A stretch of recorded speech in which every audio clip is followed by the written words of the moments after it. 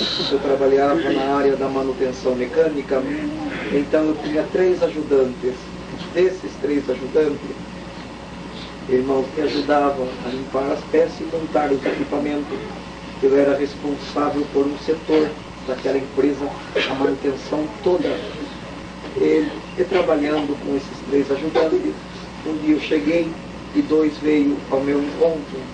E vindo eles ao meu encontro, me disseram assim os dois. Um se chamava Adão e outro se chamava Garcia. Oh, nós lemos na Bíblia ontem que o crente ele sofre o dano de boca calada sem entregar. É verdade isso? É verdade. Se der um tapa no rosto do crente, ele tem que virar o seu rosto para dar Glória a Deus. Tirar a roupa do crente, tirar a túnica, ele também tem que dar a capa. E se fizer o crente andar uma certa distância, ele tem que andar distância dobrada. Você concorda? Glória a Ele Deus. Ele falou, então se está escrito, nós não vamos bater em você e não vamos também fazer você andar. Mas prova para nós agora que você é crente. A partir de hoje, nós não trabalhamos mais. Você vai trabalhar e tudo que tiver que fazer, quando o encarregado vir, nós vamos fazer de conta que estamos trabalhando, vamos cantar música e falar besteira o dia inteiro. Vamos ver até onde você aguenta. Você topa? Falei, está topado. O crente passa a prova e Deus o dá força para ele passar. Glória a Eu Deus. agradeço a Deus, irmãos, falando desta forma. Assim o Senhor permitiu que começou aquele dia. E o terceiro ajudante era um senhor mais alto do que eu, e era da cidade de Jacobina, na Bahia. E nós, por ele ser da cidade de Jacobina, nós chamávamos ele de seu Jacó.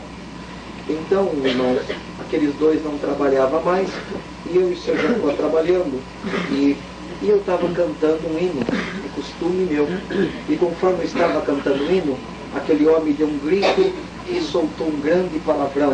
E disse assim, aqueles dois vagabundos não querem trabalhar. Eu que me dispus a trabalhar com você, sou obrigado a essas cantarolas. Você não sabe que eu sou do centro espírita e esses hinos que você canta mexe comigo? Glória a Deus. eu tenho uma coisa para te dizer. Ou você para de cantar, ou então eu faço uma macumba para você. E dentro de 30 dias eu te mato e você nunca mais vai cantar. Santo é Deus. Eu olhei para ele, irmãos, com toda a educação, e falei, seu Jacó, não precisa fazer a macumba. Nós não somos um povo de contenda. Se o meu, se o cantar o hino entristece o Senhor, mexe, como o Senhor diz, com o espírito que toma o Senhor, então eu não canto mais, eu fico em paz, e vamos ser amigos e vamos trabalhar. É muito bom, não mexe comigo, menino, porque se você mexer, eu te faço uma macumba com 30 dias de mato. Então o Senhor me desculpa, não canto mais. Quando peguei a peça, o Senhor me visitou com a sua presença. Glória a Deus. Sabe o que, que Deus falou para mim, igreja? Quem nasceu para cantar, ainda que morra, morre cantando. Glória a Jesus. Glória a Deus. Falei, senhor Jacó, o senhor me desculpe, me desculpe. Eu respeito o senhor pela idade que o senhor tem. Mas mais do que o Senhor, eu respeito o Deus que eu sirvo. E sabe o que, meu Deus falou para mim, seu Jacó? Que eu nasci para cantar. Ainda que daqui 30 dias eu morra, eu morro cantando. Ele olhou assim, claro, então quer dizer que você é abusadinho, né? Então tá bom, tá bom então. Irmãos, eu estava conversando com ele, e o encarregado chegou de tarde, irmãos, olhou para mim e falou, irmão, tem esses redutores, salvo hoje era sete. Seis ou sete, não me lembro. Eu acredito que era sete. E você faz a manutenção desses redutores para mim. Só que eu preciso fazer uma programação. Eu quero que você fale de quantos dias você leva cada redutor para você consertar. Eu olhei assim no serviço, irmãos, na, na área que eu trabalhava, eu falei com ele, olha, eu acredito entre dois a três dias cada redutor. Então eu acredito que se Deus abençoar, entre 14 a 23 dias, eu entrego todos esses redutores para o Senhor reformado, alinhado e colocado já nas bases. Ele falou, então tá bom. Quando eu falei isso, o seu Jacó deu uma gargalhada, mas deu uma gargalhada e olhou para o encarregado e falou assim, amanhã ele está falando que vai dentro de 14 a 23 dias, pois bem, esta madrugada eu faço uma macumba para esse moço. Santo Se dentro de 23 dias, falou para o encarregado, ele conseguir consertar um redutor, eu não sou mais macumbeiro. O encarregado me chamou à parte e falou, Denilson, gente boa, rapaz, você não mexe com ninguém. Quando esse homem é muito maldoso, é muito mal. E as pessoas que ele fez macumba aqui nessa empresa, ele acabou com essas pessoas. Então você reconcilia com ele, eu não falei nada. No outro dia, irmãos, comecei a mexer no redutor. Irmãos, olhei o redutor, peguei a primeira chave e ele olhando e dando risada. Vamos ver então, crente. Vamos ver até onde vai a sua força. Peguei uma chave fixa, coloquei no parafuso, quando virei, a chave quebrou no meio. Eu olhei assim, assustado, ele deu uma gargalhada e falou, e aí, crente, você quer medir força comigo? Irmãos, olhei para ele também confiando um pouco na profissão, peguei uma chave estrela, coloquei, quando virei, quebrou a boca da chave estrela. Ele olhando para mim falou, vamos crente. Irmãos, eu ainda confiando na profissão, peguei uma chave inglesa de 12 polegadas.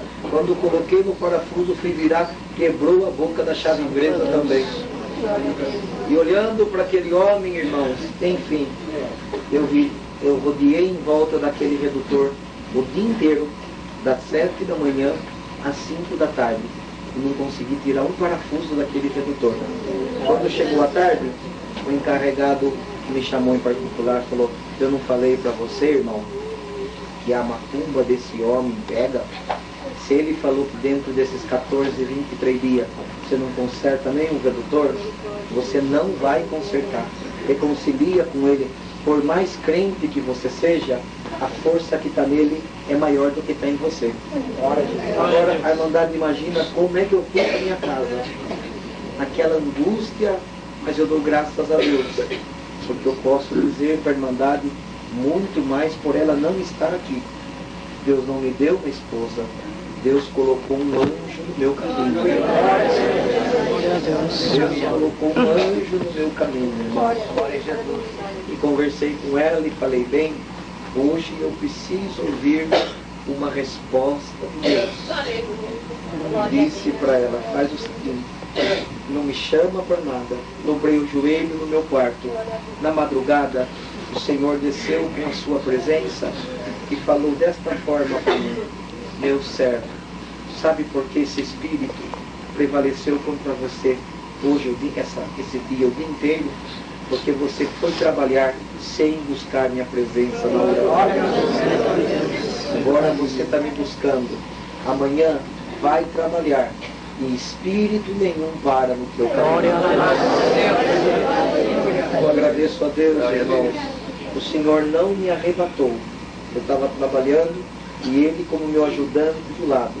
Quando deu sete horas da manhã, nós começamos a trabalhar. E veio o dia. E quando deu, apitou cinco para cinco da tarde, nós estávamos guardando a ferramenta e eu estava fechando o sétimo redutor.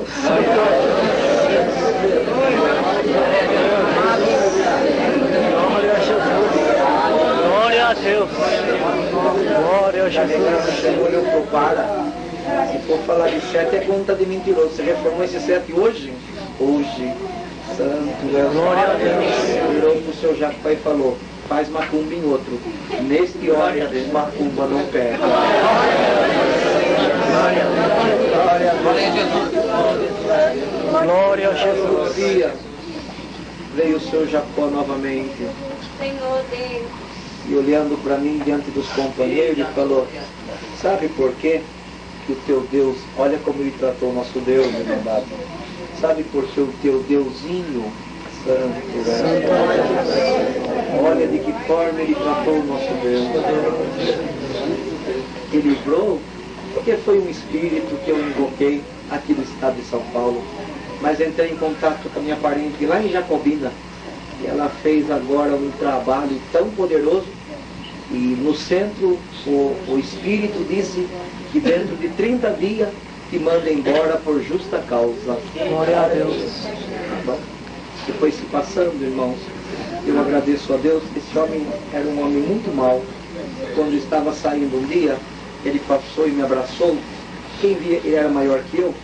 Quem via ele me abraçando, parecia que éramos muito amigos. E abraçado ele dizia assim, ó, já passou 11 dias e falta só 19 dias para cair a fama do teu Deusinho. Olha como ele tratava o nosso Deus. Daqui 19 dias você vai ser mandado embora por justa causa. Quando nós estávamos passando diante do guarda, o guarda parou nós dois. Vou revistar a bagagem, a mala de vocês dois. Aquele homem soltou um palavrão e disse assim, por que vai revistar? Passou todo mundo e você não olhou? Por que justamente de nós dois? O guarda disse, era mais ou menos 11 e meia, meio-dia, eu estava fazendo um jogo e uma voz falou para mim, hoje, quem passar abraçado com o irmão, tem algo roubado dentro do garrafão. Glória a Jesus. Ele soltou um outro palavrão e falou, mas que voz é essa? O guarda falou, eu não sei, mas eu estou desconfiado que é a voz do Deus do irmão. A Abriu Deus. minha bolsa, não tinha nada. Abriu a bolsa dele, não tinha nada. Abriu o garrafão, 5 litros de álcool roubado, mandado embora por justa causa.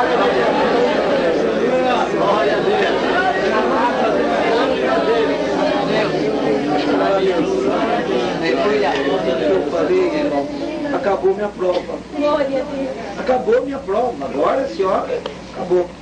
O dia que ele foi buscar a ferramenta, esse homem estava tão irado, ele despediu de todo mundo, eu fiquei no meu canto. Quando ele chegou, estendi a mão para despedir, ele não deu a mão, e ainda tem coragem de me dar a mão. E deu uma gargalhada e virou para o povo e disse, é, parece que o Deus, olha como ele tratou o nosso Deus. Parece que o Deusinho dele livrou ele mais de, de mais uma. Só que tem um porém. Nesses dias eu conversei com a minha parente jacobina e agora ela, fez, ela invocou o pior espírito do centro dela. E o espírito desse no centro, que dentro de 30 dias mata esse crente. Deu uma gargalhada e disse, eu vou embora dessa empresa, mas dentro de 30 dias eu vou ter o prazer de bater na costa da sua esposa e dizer os meus pêsames e vou jogar três mãozinhos de terra no seu caixão. Virou as costas e saiu. Irmãos, nós não somos nada. Nós irmãos acreditam que aquela palavra que aquele homem falou entrou uma aflição grande no meu coração. E conforme eu estava trabalhando, meu Deus, eu vou morrer daqui 30 dias. Senhor, tem misericórdia. E veio aquela aflição, cheguei em aflição na minha casa, mas nós crentes, graças a Deus, no dia da nossa aflição, nós temos um Deus para consolar. Glória a Deus. No culto fui congregar e Deus Glória a sua palavra. Elias debaixo do zimbro, come desse pão e bebe desta água, que a tua jornada é longa. Mas quero feitiço para você, o feitiço virará contra o feiticeiro.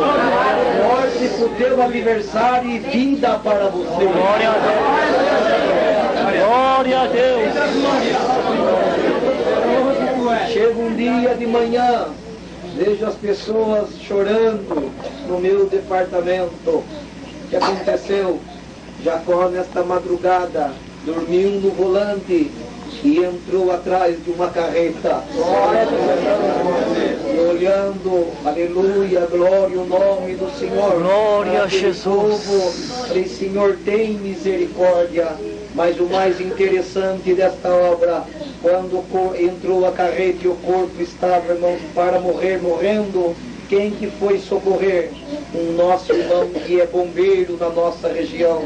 Quando ele pegou o alicate para cortar a ferragem, Deus tomou ele em língua. Glória a Deus. Santo é o Glória a Senhor. Jesus. Revisitado, ele falou, Senhor, que espírito que está em mim. Eu estou vendo esse homem morrendo e estou falando em língua. E Deus falou dentro do seu coração. Esse eu matei, para nunca mais me chamar de Deusinho.